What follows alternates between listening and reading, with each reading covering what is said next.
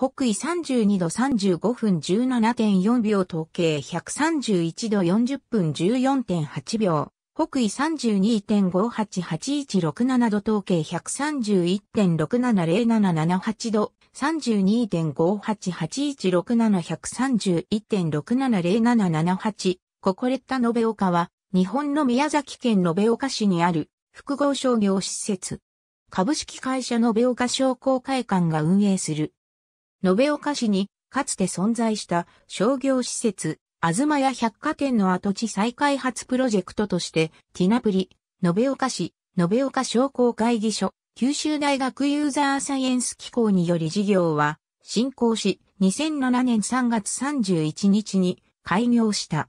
所在地は宮崎県延岡市幸町2丁目125。施設の延べ床面積は約3986平方メートル。11の商業テナントや延岡一岡富コミュニティセンター、子育てのために設置された街中キッズホームからなる。市の中心市街地活性化の中核施設としての役割を持つ。ココレッタは日本語のココとイタリア語のレッタを組み合わせた造語。